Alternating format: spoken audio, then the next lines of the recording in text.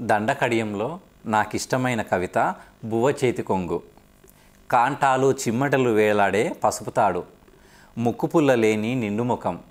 బువ్వ చేతి కొంగు వేసుకునే మా అమ్మ ఒక నిరలంకార పద్యం. కొంగు నడుముకు జుట్టుకొని గుంతదోవిన మన్ను తీసిన ఎవరైనా మా అమ్మ తరువాతనే. ఎల్లమ్మ పేరు ఏ గడియల పెట్టిండో మా తాత. పుట్టినప్పటి నుంచి మా ఊరాల ఎల్లమ్మ లెక్క గండదీపం మోస్తూనే ఉంది. తాత నాయనమ్మలు ఉన్నప్పుడు కుండెడు కుండెడు జొన్నలు సద్దలు దంచి ఏ పొద్దు కాపొద్దు అంబలి గాసిన కుందిన పాట మా అమ్మ. దారి తెలవకున్నా ఎన్నో దూరాలు దాటి నూనె గారిపోతున్న చట్నీ డబ్బతో మా హాస్టల్ ముందు నిలబడ్డ దేవగన్నేరు.